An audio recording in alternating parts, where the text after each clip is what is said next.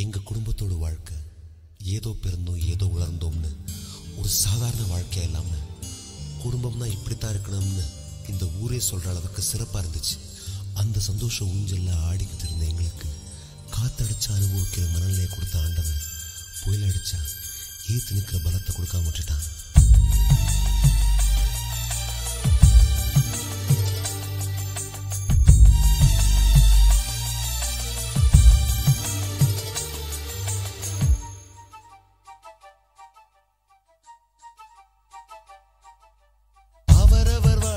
அவரவர்